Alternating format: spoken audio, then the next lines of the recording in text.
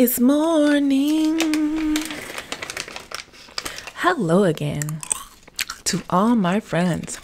I'm glad you came to play. Our fun and learning never ends. Here's what we did today. Well, I've been thinking about Barney all morning long. I haven't watched Barney since I was like 10 or 11 or something like that. Ain't that crazy how stuff sticks in your brain like that?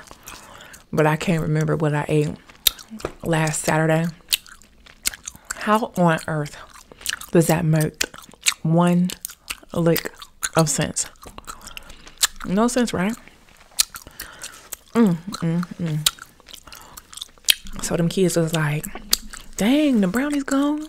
I think I told y'all that already. Yes, they're gone. Gone to my room. But anyway, I'm gonna make some more brownies this weekend. And they're gonna be all for me. Yep. All for me. Yes. I'm selfish. Cause y'all don't appreciate nothing. but anyway, I'm just playing. I'll make some and give them a few like I did the last time. They don't need all that sugar anyway. Get your life together. so why is it like super windy outside?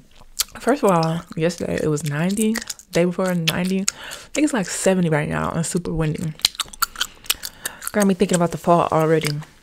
I am not ready for the fall at all. What we doing? Where you going? Stay here summer. See, this is why I want to move somewhere warm, but then it's like I think Texas just had a hurricane. I don't want to have to deal with that. You know what I'm saying? Hurricanes and rodents and bugs and crazy things that I've never seen in my life that I think belong in a zoo.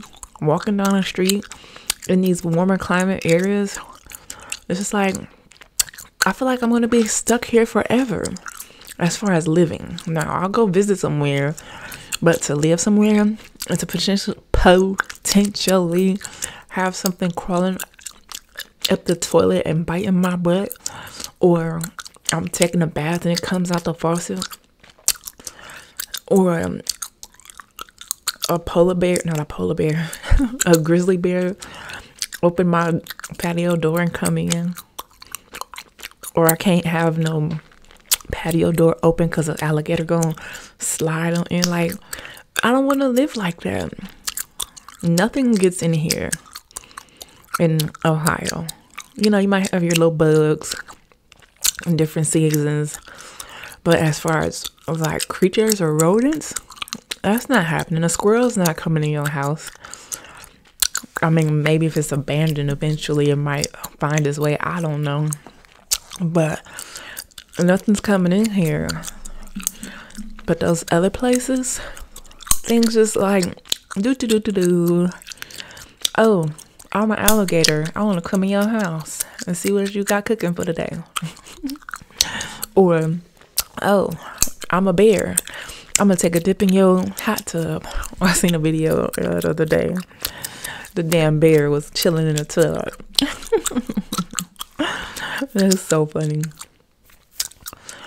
But um, I don't know. Y'all know I just be randomly talking about stuff. So today, I don't know why. I was gonna say I don't know why I I be so tired, but I don't know why I be tired.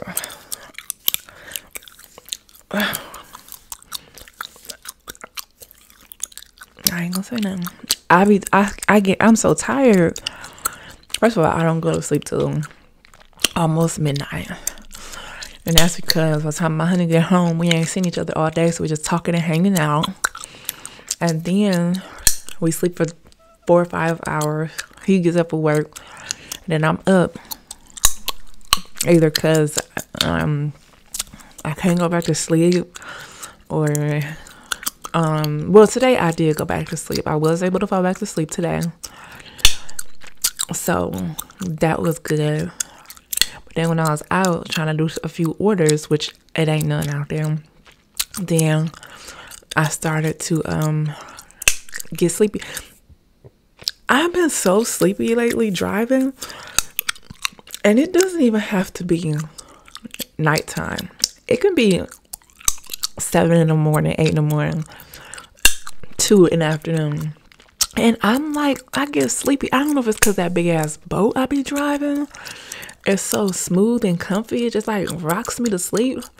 I don't know, but I'm like, this is not safe, child. I do not need to be falling asleep out here in these streets at all.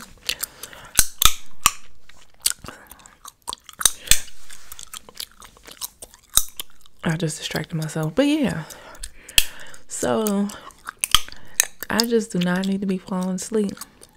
I don't know why I get so sleepy when I start driving. Maybe that's my sign. I don't need to be in nobody car driving. I need a chauffeur. Cause this stuff is too much. Entirely. So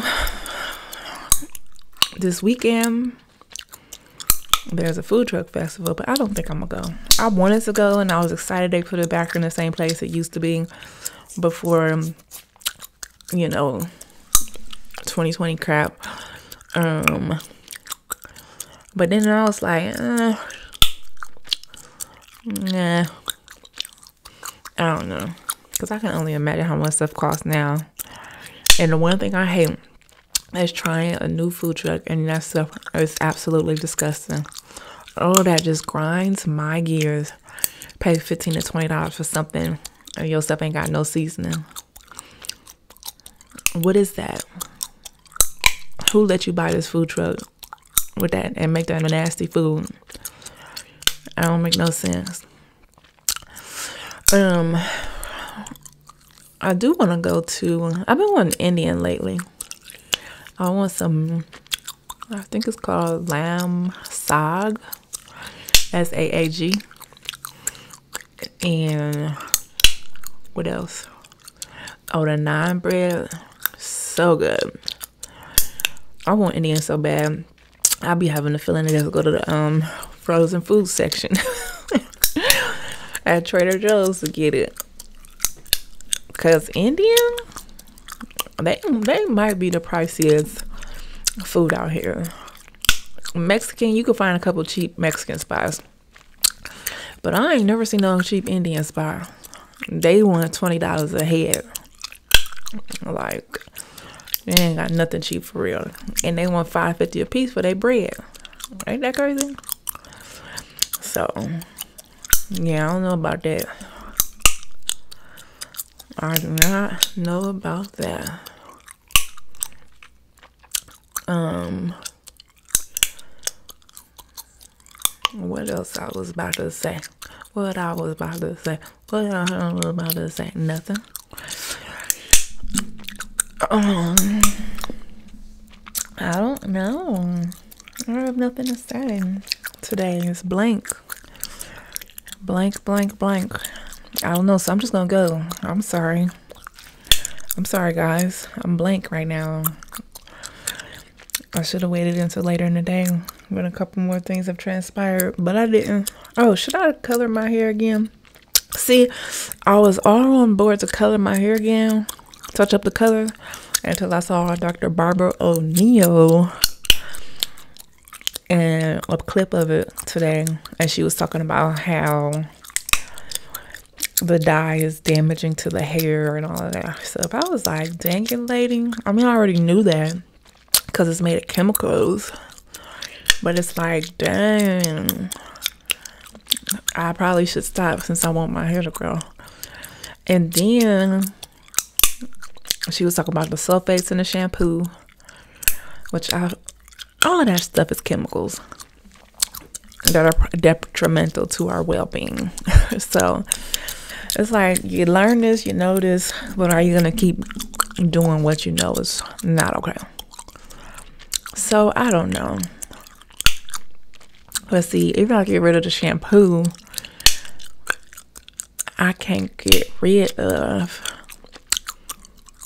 like the products. so if the sulfate is bad, can I use the other stuff if I negate the sulfate? I don't know. I just love Kenra brand products. I love them. They smell great. They give me great results. for a day or two, no, they ain't got nothing to do with my results. My results is all on me. but y'all know what I'm saying. I don't know. Everything is freaking chemicals. Chemicals here, chemicals there, chemicals everywhere. They're just trying to take us out from every angle. And I'm not feeling it. I'm not feeling it. Okay. So I'm gonna go because I really have nothing to say. so smile because you're beautiful and love yourself. Because if you don't love yourself, why would anyone else? All right. Bye.